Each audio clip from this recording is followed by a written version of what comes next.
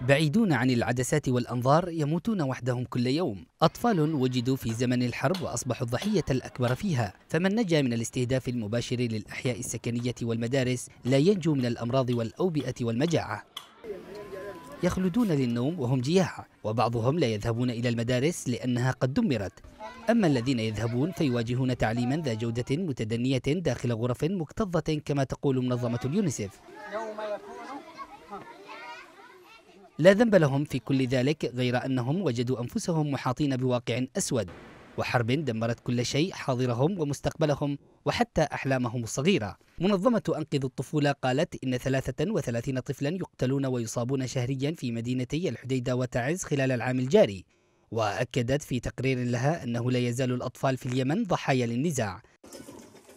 الحديدة وتعز هما أكثر المناطق دموية بالنسبة للأطفال في اليمن بحسب المنظمة المتخصصة بحقوق الأطفال حيث أوضحت أن قرابة النصف من الأطفال الذين ماتوا كنتيجة مباشرة للنزاع تم استهدافهم في الحديدة وتعز.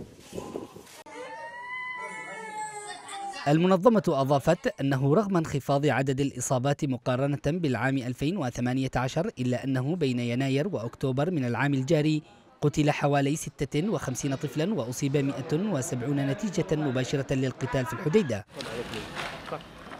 جيل كامل إذا من الأطفال فرض عليهم أن يعيشوا في أتون حرب دمرت كل شيء وجعلتهم مجرد أرقام في قائمة ضحاياها.